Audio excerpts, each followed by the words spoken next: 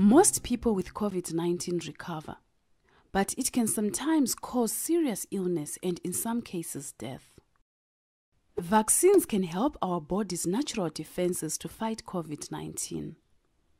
COVID 19 is an infection caused by a virus.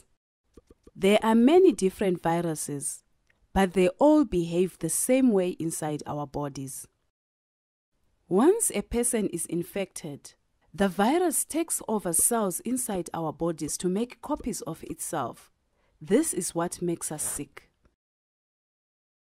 Our bodies react by making special cells to fight the virus.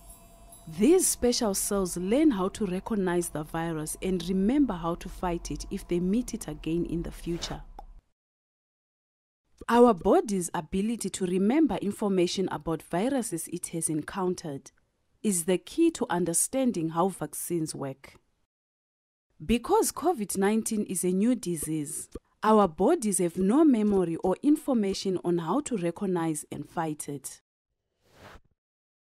Vaccines can be made differently, but they all work the same way.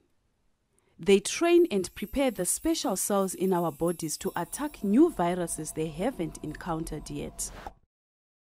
This means that if someone catches a virus after they have been vaccinated against it, their body recognizes the virus immediately. Their special cells can fight the virus straight away before it has time to reproduce and make them sick.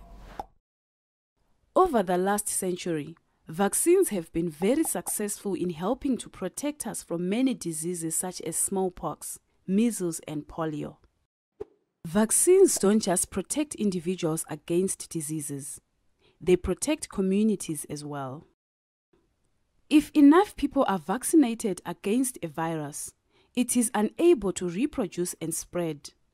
This is called herd immunity. Studies show that if around 70% of the population become vaccinated, it can lead to a disease dying out completely. All vaccines are tested thoroughly to make sure they are safe and effective before they can be used. This process is no different for COVID 19 vaccines.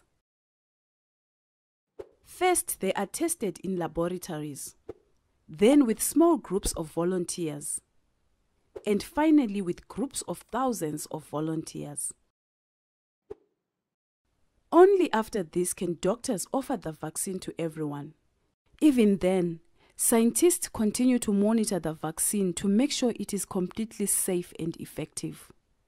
Even when a vaccine against COVID 19 is available, it's still important to continue to take precautions to stop the virus's spread by Washing your hands with soap and water for at least 20 seconds.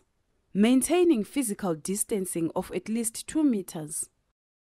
And wearing a face mask in public.